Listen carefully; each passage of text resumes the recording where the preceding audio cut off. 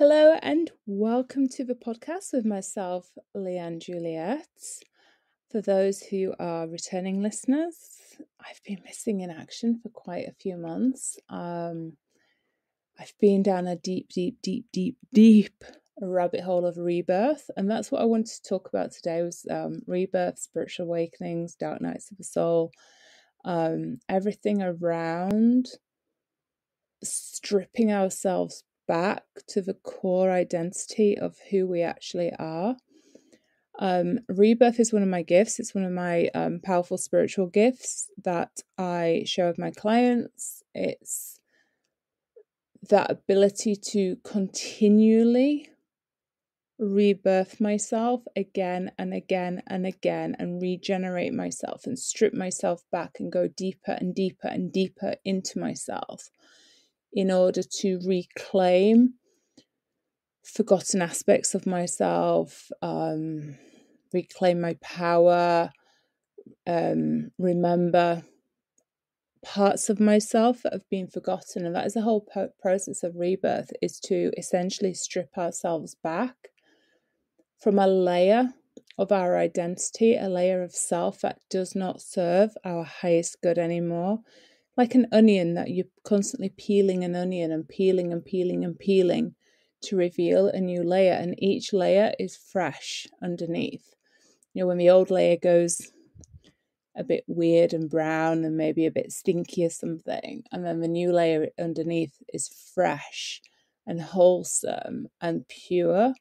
That's the whole point of rebirth and that is one of my very powerful spiritual gifts is rebirth ability to regenerate myself. I'm um, in astrology i'm a scorpio rising in sidereal astrology hence the scorpio with the ability to regenerate and transform over again.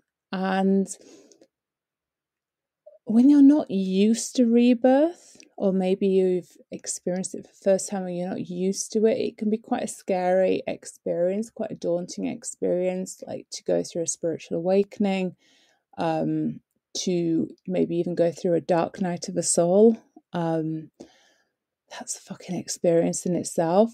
But it can be quite daunting to go through a rebirth.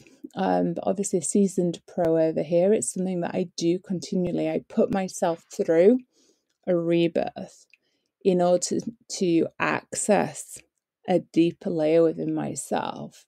And I do it often. Like obviously this has been like quite a few months now for myself. I'm just starting to come out of that rebirth now. So I wanted to get back to my podcast, get back to writing and speaking because that's all my soul wants to do is write and speak, write and speak. I went through a, a very powerful dark night of the soul about three three or four years ago. And all I heard was, all I want to do is write and speak. All I want to do is write and speak. I love to write. I love to speak. So I'm back to that again. And I wanted to start like kind of this this new journey of mine talking about rebirth because I know that it can be scary and it can be daunting and it can be quite overwhelming if you're not used to the process of rebirth, if you're not familiar with it, if you're not used to it, if it's your first rebirth, if you're um, if you've been stuck in a rebirth for a while and can't seem to find the way out, it can be quite a daunting experience. And the thing with spiritual awakenings, because that's what a rebirth is essentially, is a spiritual awakening. Because when you go through a spiritual awakening, you don't just go through one awakening it's a, it's a series of awakening. Once you awaken you then awaken to a deeper layer and a deeper layer and a deeper layer and it is a it is a journey. The awakening process is a journey. We're human we're having a human experience we're spiritual beings having a human experience and it is a journey and the whole point of rebirth and spiritual awakenings is to remember who the fuck you are. It's to reclaim your identity. It's to reclaim your authenticity. It's to reclaim the truth of who you are, not the ego self, not the shadow self, not the fake as fuck masks that most people wear, not the airy fairy fluffy bullshit of the new age spiritual community that will tell you it's oh it's all love and light. Fuck that. It's it's painful to go through a rebirth. It is painful to go through an awakening. It is painful to reveal a layer of yourself that you didn't know existed before. That's why it's called a rebirth for anyone who's given birth you know how fucking painful birth is And rebirth is the thing about rebirth is it's about accessing that dark energy. Dark not being evil, but dark as in being untapped, raw, potent power, potent energy. It's the unknown. And that's why it can be so scary if you're not used to rebirth, if you're not used to spiritual awakenings. It can be very scary because you're being guided to have faith in the unknown. You're being guided to let go of the identity that you have clung onto for so fucking long. But it doesn't serve you. It is an outdated, stagnant, maybe toxic identity that no longer serves you or has never served you. And the whole point of a rebirth is to activate that transformation into a higher version of you. It is part of a spiritual awakening process. And as as I've already said, you know, anyone who's followed like spiritual communities, I I actually am I am deeply spiritual, but I cannot stand spiritual communities because I find it very, very fucking fake. I find most people in the spiritual communities quite fake. They're all wearing a mask, they're all talking out their ass from their ego. And not everyone, but like the people I've seen. Um, and most of it is just surface level fluff that doesn't actually get you anywhere. I work in the darkness. I work in the shittiest fucking parts of a human psyche, in the shittiest, shittiest parts of the subconscious, in the darkest aspects of the human psyche. Scorpio rising here, so I love my Scorpio energy. I I work in the darkness, like the darkness is my playground. Because I know how to activate the darkness into the light. I know how to alchemize darkness into light. I am a guide through the darkness, a shamanic guide through the darkness. I'm the one who throws the fucking rope down to you when you're when you're in the darkest depths of your your psyche of yourself not knowing how you're going to get out not knowing how to find the way out, feeling really lost and confused and kind of sometimes in a, in a pit of despair. I'm the one who throws a rope down and shows you the secret door as to how to find the way out because I understand the darkness. Not in the way that some people in the spiritual community would talk about, be like, oh, darkness is this or darkness is bad or whatever. Oh, we just need to be love and light. Oh, fuck all that with the love and light bullshit the darkness is where the power is. The darkness is where the truth is. The darkness is where your greatest, greatest self lies, is in the darkness. The, your greatest truth, your greatest potency, your greatest potential, and the untapped gold that is you is found within the the darkest, shittiest, murkiest aspects of your psyche. The parts that have been the shadow, it's the shadow. I'm like fucking shadow queen over here. I understand the shadow in ways that others don't. And when you're going through a rebirth or a spiritual awakening process, what you're doing is you're activating and triggering the shadow to come to the surface. and that can bring up so much shit for you because the shadow is is is the parts of ourselves that we've hidden away from that we carry shame around or fear or uh, we've we've we've, we've outcast it to the side. There's something there but usually it's like a uh, subconscious unconscious energy and i work with a multidimensional shadow so multidimensional shadow from other lifetimes. But the shadow is the part that has been hidden away outcast shunned rejected something that you deny within yourself. It is darkness. And the shadow is asking to be seen within the light. And that's the whole point of a rebirth and a spiritual awakening is to trigger and activate that shadow energy, that dark energy I'm seeing in my mind a um, a plant pot with soil and a um and, and and bulbs and seeds, and you're kind of shaking it to to bring the seeds up to the surface. That's what you're doing. Anything that's hidden underneath has to come up.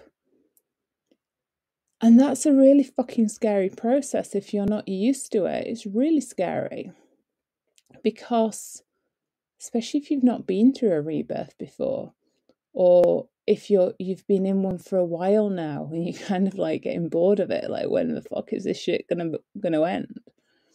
Like i can rebirth myself within a couple of days a few weeks maybe a few months it just depends but i don't stay in the darkness of a shit or anything like that. I know what's going on and i know how to pull myself out of it because i know at the other side is like an even greater layer of my power that is just waiting to be claimed.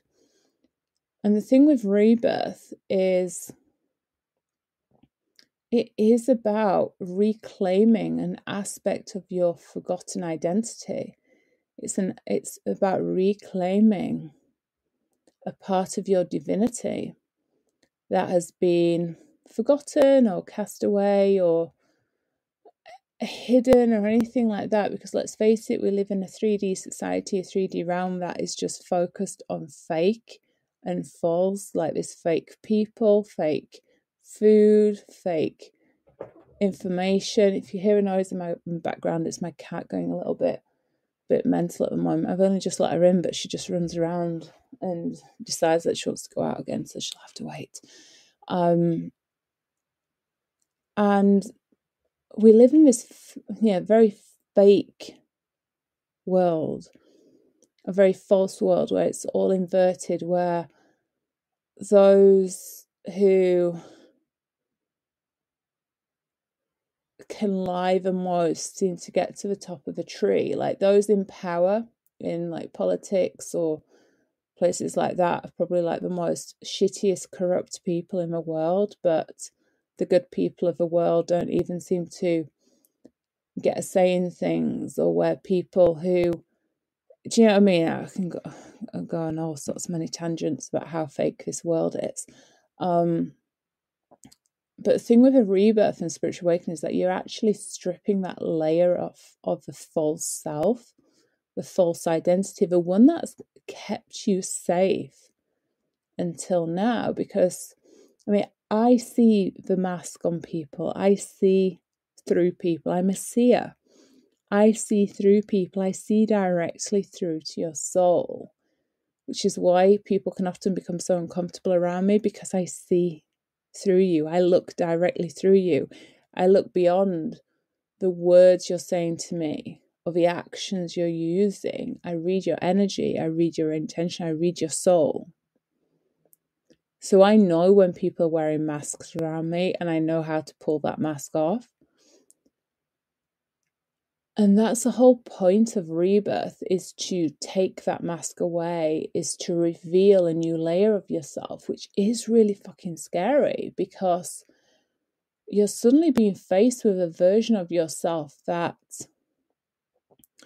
maybe you knew existed, but you didn't quite think you were able to experience for yourself, that freedom that you want, that truth, that authenticity, or maybe you didn't know it existed, and it's quite scary to suddenly be vulnerable because when anything is rebirthed, you know, it's you know, when a baby is born, it's in its most vulnerable state. And that's the whole point of a rebirth is that you're suddenly really vulnerable because you you have this fresh new energy. You no longer have the mask that you were wearing before that you didn't even realize you were wearing. That's the thing, most people don't realize that they're wearing a mask until they come around me and I point the mask out to them.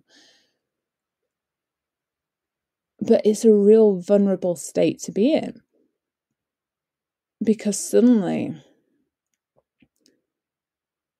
suddenly you're faced with looking around at the world and being like i don't connect with these people anymore this job or career or business or whatever it is doesn't resonate with me anymore. I can't get on with these friends we used to get on, and now I'm just like, oh, it's like we're completely different people or I don't even know who my family are because we're just like completely different people, or your body might start rejecting certain foods or have sensitivities for things as you raise your frequency. You become more sensitive to to fake. Um, for me, I mean, I'm very sensitive anyway, but um, like I I I I cannot be around fake people. It literally it's torture for me to be around fake people because I'm like, do you not see the fucking mask that you're wearing and how fake you're being? And obviously they don't. But I cannot stand anything fake, any fake food, any processed food um, fake news and obviously all the propaganda, which is why I don't listen to news, but you know, all the propaganda that's out there, all the politicians with their fake as fuck propaganda and shit. Um, systems, industries, anything that is rooted in a a state of disempowerment. I cannot stand to be around. I cannot stand to be around fake people um, lies, illusion. Anyone who refuses to see the lies that they're living or refuses to see the illusion in their life, I can't stand to be around. It literally irritates me because I'm on such a high vibrational level, a higher frequency level, higher frequency consciousness that anything that is not aligned just cannot be in my energy. It can't. And that can be a really scary place to be in. I'm, I, you know, it doesn't affect me anymore because I've been through so many rebirths. But if it, if you're not used to rebirths, you're or you've been in one for a while, it can be a very scary place to be because you're being asked to release anything from your energy. That just does not align with you. And that can be family, it can be friends, it can be a lover, a relationship, it can be a job, a career, it can be a mindset, a belief, it could be your religious beliefs or your culture, it could even be your fucking country that you live in. It could be the way you eat, the way you exercise, the any the way you show up in the world, the way you make money, the way you um your health anything. And that can be really scary because suddenly you find yourself vulnerable because you're, you're being asked to let go of things that until now have kind of kept you safe. You've been in that comfort, that comfort bubble of, oh yeah, everything's cool, everything's cool, my life is fine, whatever. Until you suddenly wake up one day and like, actually, I don't enjoy who I am. I don't feel free in who I am. I don't feel free with um, my career, my job, my business, how I make money. I don't feel free in my body. I don't feel free in my mind. I don't feel good around these people anymore when I used to. These habits that I have just don't work for me anymore. And that's really scary because you're being asked to let go of something that has been part of your identity until now that you didn't realize was actually hindering your growth and hindering your spiritual growth. And that is really scary, a scary place to be in. I get it. But the thing is, though, in order to move through the rebirth, you have to make space for this new identity to be born because there's a higher frequency version of you that wants to come through. And that higher frequency version of you cannot and will not tolerate anything that is misaligned for it. Whether that is people, relationships, family, friends, career, beliefs, religious beliefs, culture, um, habits, anything like that, anything that is misaligned anything that is too attached to your old version that you are outgrowing or that you're being asked to outgrow needs to leave. And that can be really fucking scary because, excuse me, because you suddenly find yourself on, on a raft in the middle of the fucking ocean without without an oar, without a paddle. You're like, uh, uh, where, where, where's the land? How how how how how do I get back? And I laugh because I go through so many rebirths. It's just my natural state of being is to rebirth again and again and again. It's a gift of mine. It's a gift. It's a gift that I share with my clients because I understand the rebirth process. I understand how to pull people through the rebirth process, how to guide people out of the darkness and into the light, how to alchemize darkness into light. I'm an alchemist, how to alchemize pain into power, illusion into truth, darkness into light. It's my fucking gift. And the rebirth process is a very, very, very powerful spiritual transformation. And it's one that requires you to leave behind anything that is not aligned with this higher frequency self that is asking to be birthed through you. Anything, a shitty pattern that you have, a, a shitty habit, a behavior, limiting beliefs, as said, people, relationships, friends, family, certain foods, um, your belief system of what you grew up in, if you grew up in religion or a particular culture, systems, anything, you have to let it go. You have to let it go. Because here's the caveat the longer you hold on to whatever is no longer aligned for your higher frequency self, however long you hold on to it and hold on to it with a death grip because you too scared to let it go, the more painful your life is.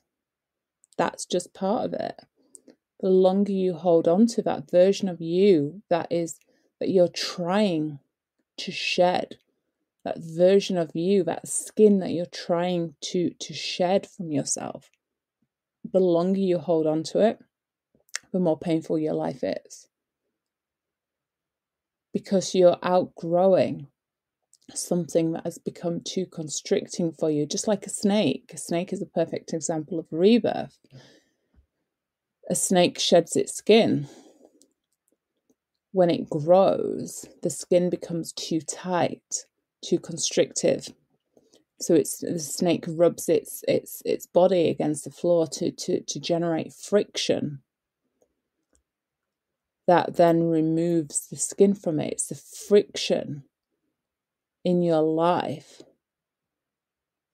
that is created from the conflict inside of you holding on to the identity that you've outgrown. Your higher self knows you've outgrown it. Obviously, that's why you're going through the rebirth. But your ego is like, I'm fucking comfortable with this. I'm just like gonna stay here. But your higher self is like, no, no, let it go, let it go.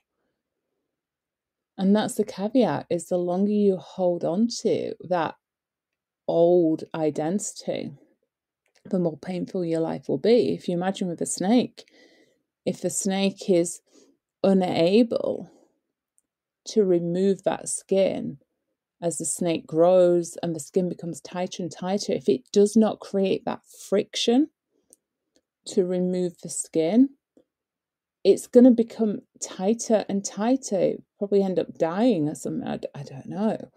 Uh, not being able to breathe, so it becomes so tight it wouldn't be able to move.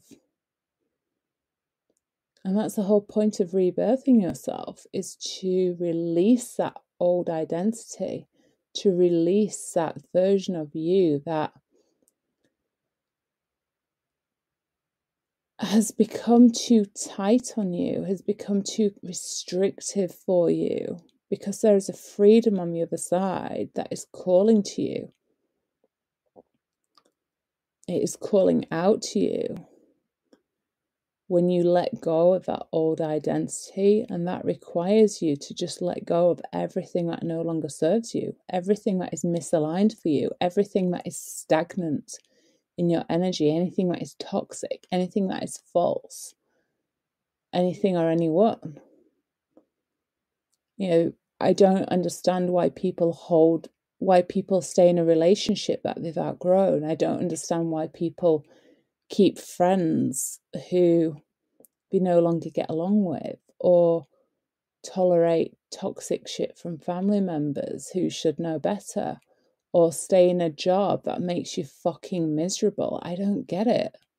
Because there's absolutely no reason to do that unless you you're, you're a glutton for, for pain and you like being in that painful kind of situation. I don't get it.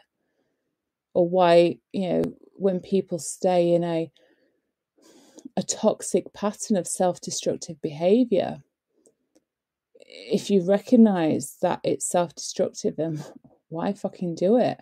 Unless you just like the pain of being in a self destructive relationship with yourself. But that's the whole point of rebirth is to let go of that identity, is to let go of the old, to create the space and the freedom for the new version to come through, which feels freer. It feels liberating. It feels expansive because it is. You imagine the caterpillar after, and I use a lot of um, imagery in, when I'm talking because you know it helps to convey the, mes- the message. And obviously, like I see the images in my mind anyway.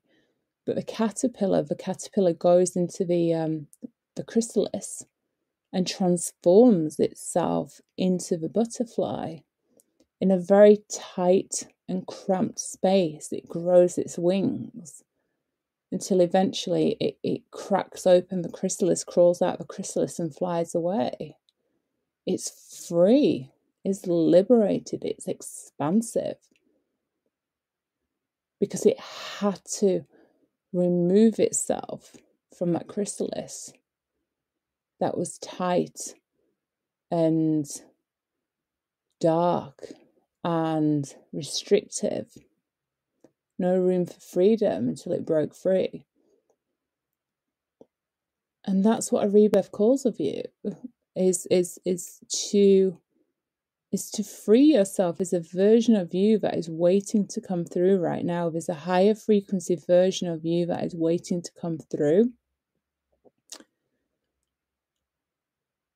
And it it requires a space to be born through you, which means releasing that old identity, releasing those restrictions in your life, re- releasing anything that is false, illusionary, fake, anything that is not the truth of who you truly fucking are, your divine self, your authentic self.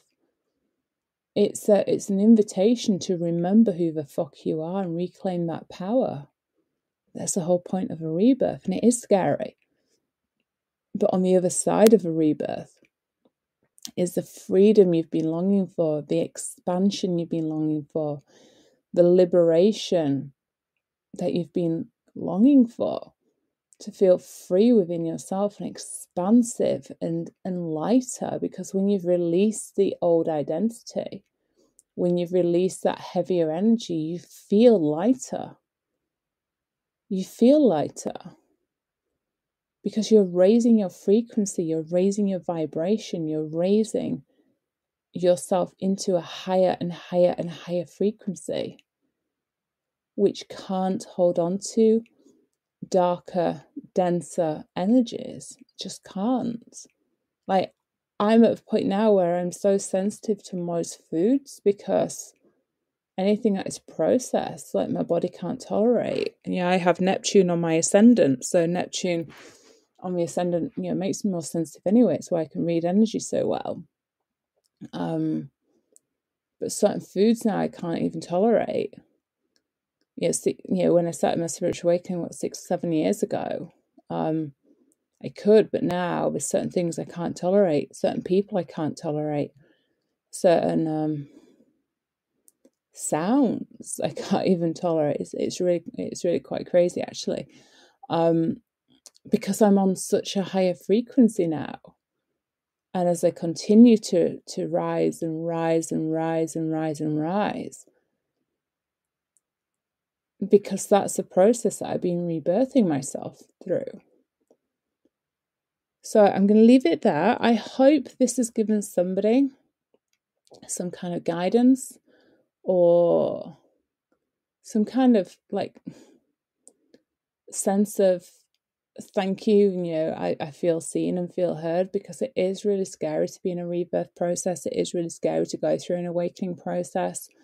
Um, it makes you very vulnerable because you're being asked to see a side of you that you didn't know existed before. And that's really quite scary. It's empowering, but it's very scary at the same time. So I hope this has given somebody some kind of clarity or some kind of guidance or anything like that. I am going to be back with more podcasts. Know, I've just literally rebirthed myself through it's probably been like one of my most powerful rebirths to date. Um which is very fucking cool. As I said, I love the rebirth process, it's one of my gifts. So it's been a very, very empowering process I've just taken myself through.